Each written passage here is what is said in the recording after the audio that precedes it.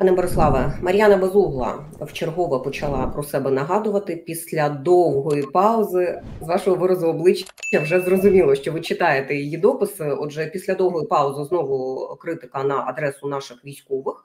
Останній допис 5 годин тому на Фейсбуці таку красномовну назву має початок, якби я стала міністром оборони, і там довжелезний такий текст з критикою того, що є насправді, з її якимись пропозиціями до своїх дописувачів. Вона звертається за тим, щоб вони це коментували, як вони це бачать. Ну, ви нашим глядачам пояснювали, що просто так такі дописи. У Мар'яни Безуглої не з'являються.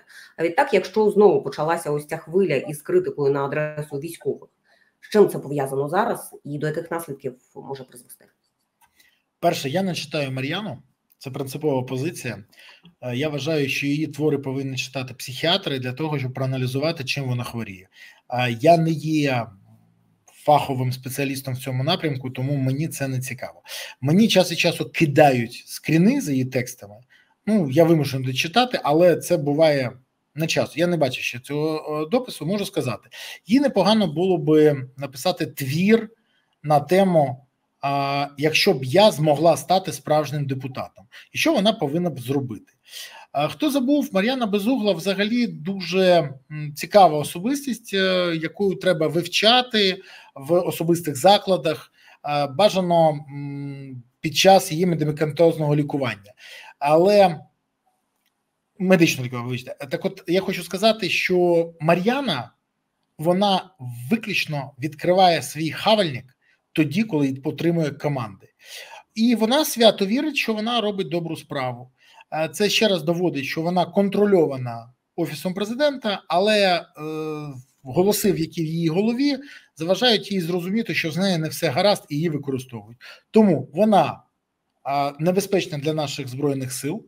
Вона дискредитує збройні сили, вона дискредитує головкома, вона дискредитує взагалі військових. Хочу нагадати, що вона колись атакувала е, кого завгодно, і е, Штефана Штірліца, і Макарука, і головкома Залужного. До речі, дуже хочеться запитати: а чи задоволена результатами на полі бою Мар'яна після зняття головкома залужного.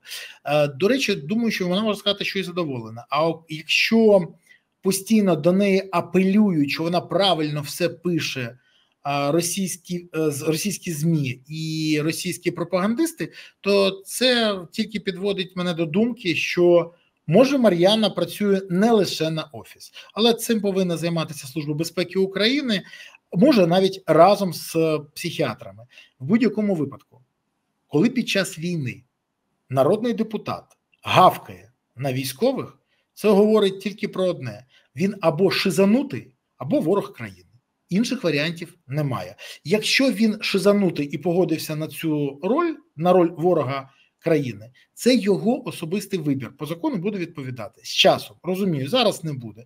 Зараз її навіть не хочуть виключати з лав е, Слуги народу. Офіс не дає, а також знімати з посади заступника голови комітету комітету по безпеці і розвідці. Тому знаєте, така історія.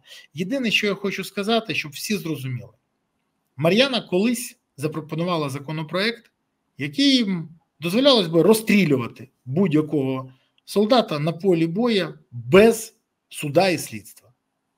Це її пропозиція. Це щоб розуміти її рівень компетенції, це щоб розуміти її рівень людяності, це щоб зрозуміти її рівень відповідальності.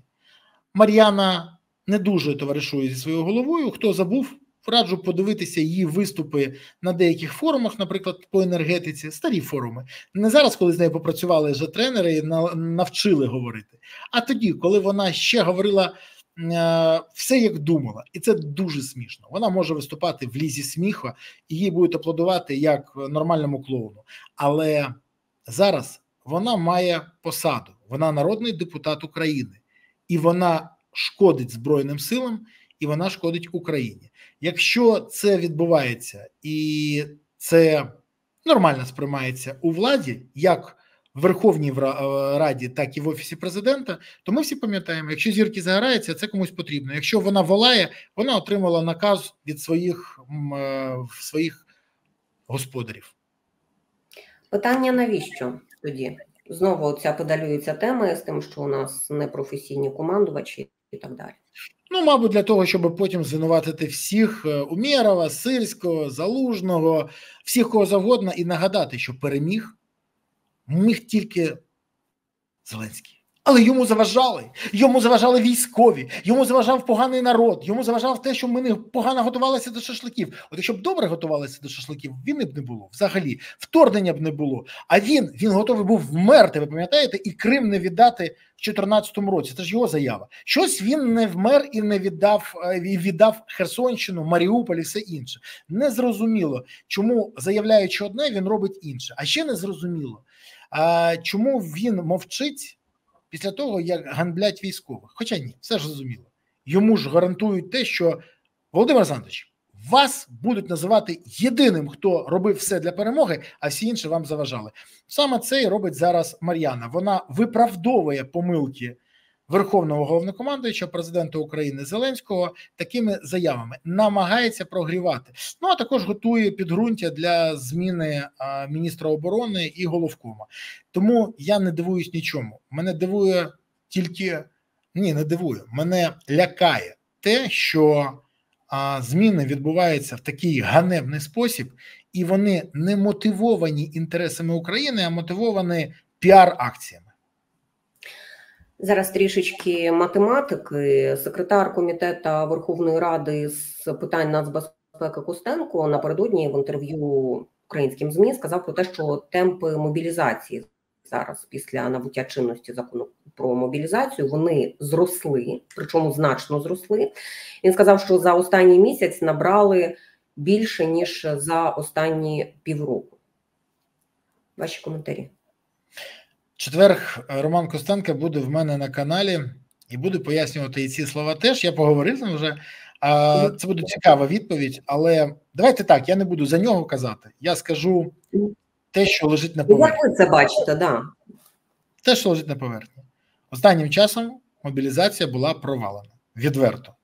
В деяких е, областях мобілізація була на рівні такого відсотку, м'яко кажучи, що похибка десь поряд. А те, що зараз відбулося, це кардинально змінює ситуацію, але хочу нагадати, що це мобілізація за травень, а нам потрібно було почати мобілізацію ще в жовтні, листопаді, коли про це говорив Залужний, і він тоді говорив: треба починати мобілізацію великою кількістю людей, а потім готувати їх від півроку до року, щоб були вже на кінець 24-го року в нас сили, які можуть кардинально змінити ситуацію на полі бою. Одночасно з цим вони повинні бути не тільки навчення і забезпечені всім необхідним, а це теж потрібен час для цього. А також в нас повинні бути такі кількісті fpv дрони і ударні дрони, що ми могли би це зробити геймченджером на полі бою. Наскільки мені відомо. Теж з математики президент обіцяв 1 мільйон дронів нашій армії в цьому році. Якщо ми будемо рахувати, то на кінець травня Україна повинна була забезпечити ЗСУ 416 тисячами дронів. Це щоб встигнути до кінця року. Е Передати військовим 1 мільйон дронів. Передано було трохи більше одної 100 тисяч е, дронів. Ще раз 416 і трохи більше 100 чотири рази менше. Тому а, тут ми відстаємо по мобілізації так само, а ще мобілізовані. Це ще не підготовлені, не навчені, не тільки які пройшли бойове злагодження. Тому час втрачений. А час втрачений благодаря геніальній, геніальній стратегії. А вибачте, в нього стратегії голови нема. Геніальній думці нашого найвеличнішого політичного лідера сучасності по версії Андрія Єрмака, да святиться ім'я його під луною, який сказав, що Пойде Зеленський на своїх прес-конференції, а я не бачу аргументів за мобілізацію. Зараз бачить, а вже запізно. Треба було тоді бачити. А якщо не бачиш, слухати тих, хто має фахову освіту, хто має досвід війни з 2014 року, хто має розуміння, як повертати території, які через тебе втрачені. Це, наприклад, залужний е, повертав територію, про які коли Зеленський відмовлявся вводити. Військовий стан проводити завчасну мобілізацію, проводити евакуацію людей. А треба це було все робити. Треба. Так, от е, знову втрачений час. Тому те, що в травні мобілізували людей, змогли. Це показує, що є потенціал. Але питання, коли вони будуть готові, це буде не раніше, не раніше, чим восени. А військовий потрібний вже вчора. Тому ще раз кажу: коли ми пригадуємо, що у нас зірвана мобілізація, пригадуємо завдяки кому той людини, яка зняла всіх одночасно військомів для того, щоб отримати овації. Це був Володимир Зеленський. Ще раз кажу: Зеленський це проблема. В його голові живуть прості рішення. Прості рішення не допомагають перемогти у складній війні. Ми ж пам'ятаємо ці історії. Просто перестати стріляти, просто зайтись посередині, просто подивитися в очі Путіну. Це ж його ідеї, просто готуватися до шашликів. А зараз було просто зняти а, військомів. До чого це призвело? До зрива мобілізації. Хто виграші? Росіяни, які аплодують цьому рішенню, і досі ми не побачили покараних людей, які запропонували Зеленському, який погодився на таке рішення. І досі ми не побачили, до речі, звіту. Хто ж передав план контрнаступу, про який Зеленський на наступній своїй прес-конференції сказав, ще контрнаступ не почався, а вже були передані плани в е, Кремль. Ну так скажіть, хто з офісу президента передав ці плани? Бо коли операції не передавалися в офіс президента, вони завжди всі проходили на відмінно. Як любив казати Біркадзе на 5 з плюсом. А от коли е, чомусь передали плани контрнаступу, вони з'явились в Кремлі. Так хто ж передав з офісу президента? Це ж не багато людей, тільки з оточення президента могли хтось передати. Хай назовуть дуже цікаво, хто цей ворог, чи вже він е, знешкоджений, чи далі працює. Знаєте, багато запитань. Відповіді ми поки не отримуємо. Як і відповідь, е, хто буде покараний за те, що була зірвана мобілізація, хто буде покараний за всі інші помилки? Час покаже хто.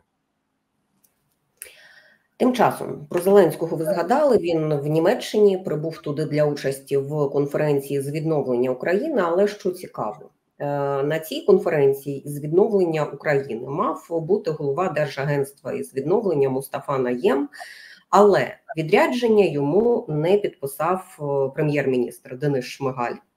Наєм подає у відставку. Більше того, я думаю, ви бачили, значить, е, цю заяву е, із пропискою Шмигаля, де Шмигаль просить підготувати у Наєма. По перше, він його не пускає на це відря... у це відрядження. По-друге, просить його приготувати звіт і аналіз завершення об'єктів другого рівня захисту. У цій всій історії зараз е, наєм прямо звинувачує уряд і безпосередньо шмигаля в перешкоджання своїй діяльності. Як ви гадаєте, що відбувається зараз? Ну, міжвідова боротьба, не більше, не менше. Е, Наям міг раніше вийти і сказати, що відбувається. Він же не виходив, не казав. Він мовчав, його все влаштовувало. Мабуть, якщо не влаштовувало, чому не казав?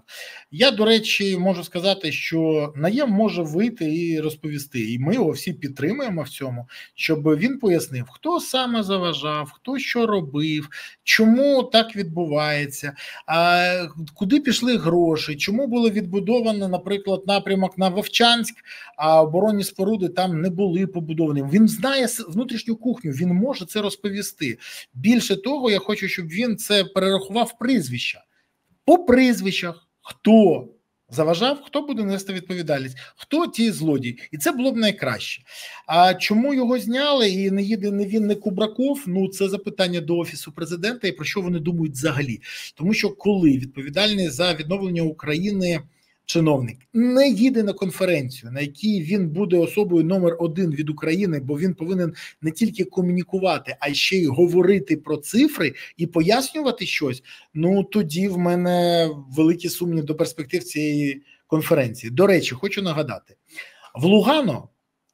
Наші полудурки з офісу президента поїхали з цифрами, які вони виписали в літаку, поки летіли, і це не є таємницею. Про це багато хто розповідав. А вони не підготували, сказали. Нам треба 750 мільярдів. Їм сказали, обґрунтуйте. А ми зараз вам нарисуємо, намалюємо табличку в Excel. Їм сказали, ви що з глузду з'їхали? Обґрунтування.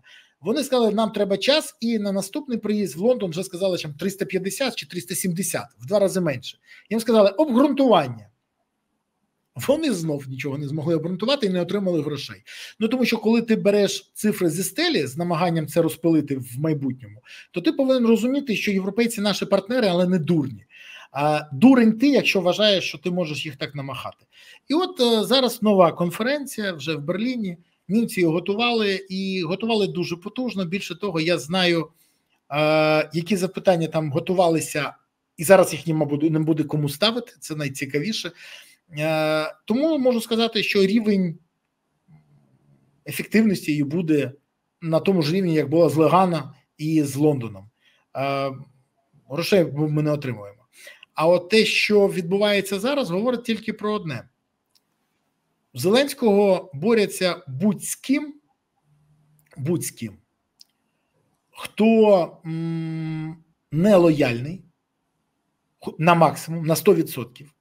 І хто може... А я перепрошую, а що таке лояльність в наших умовах, от в сучасних? Ой, лояльність це Беркадзе. Ви знаєте, я можу сказати, це Беркадзе, який це найкращий от варіант. От ви зараз смієтеся, але це правда. Ну, пані Олена, це Беркадзе, який готовий все виконувати на 5 з плюсом. Йому кажуть, так, ти, ти прийдеш туди, там все буде підстроєно, йому кажуть це.